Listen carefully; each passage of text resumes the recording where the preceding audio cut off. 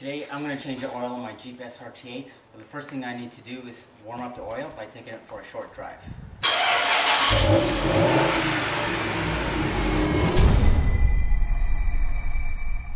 This is your oil pan, and there's a plug that you need to remove. And again, you need a 13 millimeter for that drain plug. So let's go.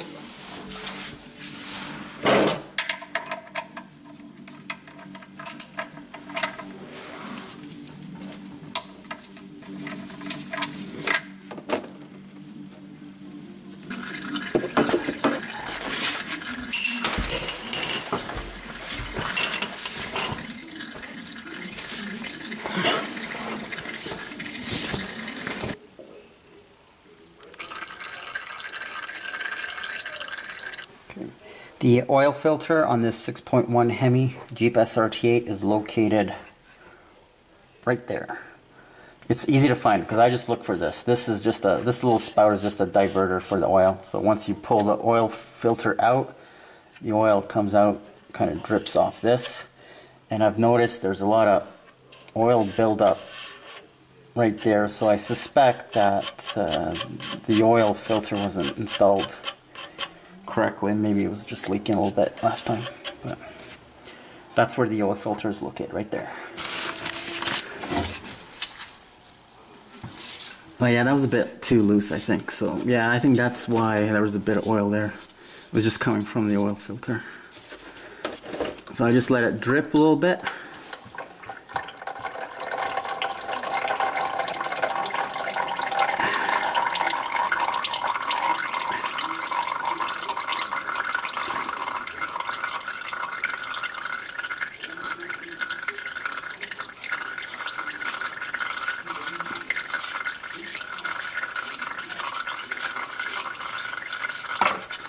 There we go. And it's out.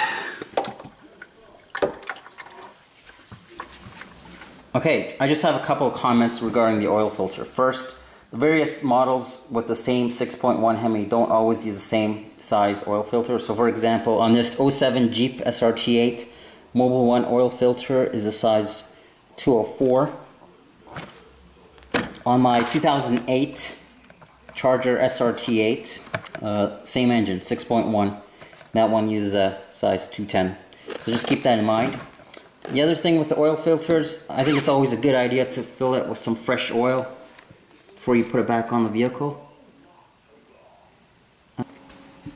And just uh, put some oil on the top seal and that's ready to go on the vehicle.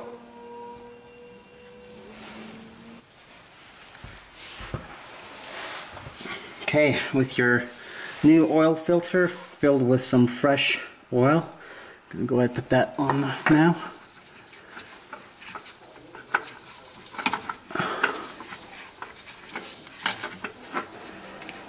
Alright, finally I like to clean down the underneath of the vehicle, get all that oil off. And the thing I like to use is fluid film. It's a rust and corrosion um, protector. Not only cleans everything, but I just like to put on once in a while, especially on all the metal parts.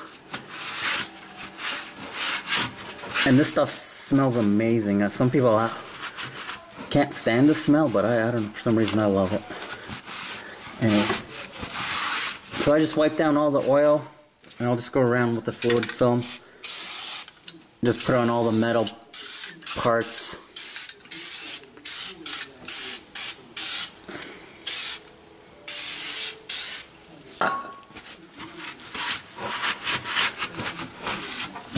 And right before the winter hits, I uh, put this throughout everywhere underneath the vehicle, all the metal components. Uh, it's great for, uh, you know, like I said, preventing rust. Alright, so everything is nice and clean and smelling good too. Okay, that's it. Now we're ready to uh, put some oil in this vehicle. Okay, I'm going to go ahead and tighten the oil drain plug.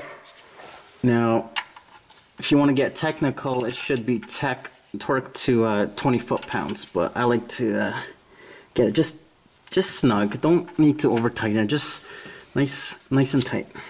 All right.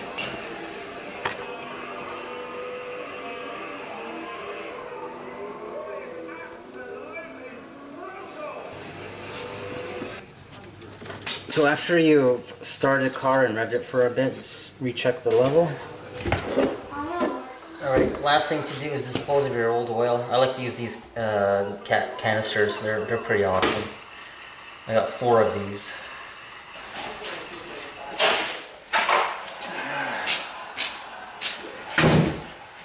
I guess I'm a bit of an OCD person. I mean, not a lot of people clean their ramps, but I like to clean clean them every now and then, just to keep them looking like new. What's up, buddy? What's up? Just cleaning my ramps.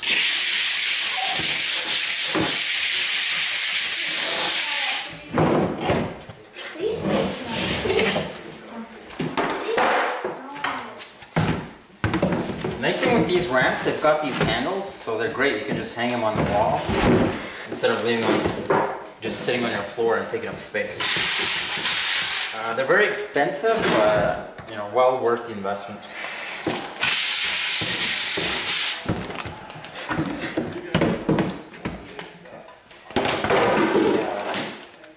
I need one more of these little hooks. found a couple over back there. Okay, Zan, turn off the camera, please. Bye, guys. Ching chong! Bring me the camera. Ching chong! Okay, here's my assistant. Say hi. Hi. Bye, guys.